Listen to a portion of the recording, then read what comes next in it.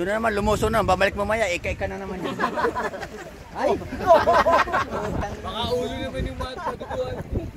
Wala ka talaga ba? Napaupo sa bagit, makpak yung pin.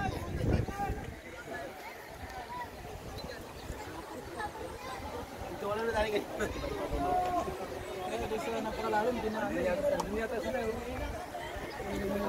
Dito kami daw sa Wawa Dam, yung sa kasama naman namin, kawawa naman siya.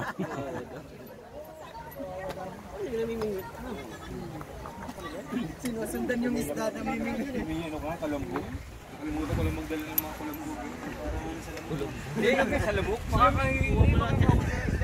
Yung namimingwit doon, sinusundan yung isda. Pero, Akala niya may magnet. Pag dumikit ka agad. Ay, sa isda, susundan isda. Inaikot. Ay na meron na.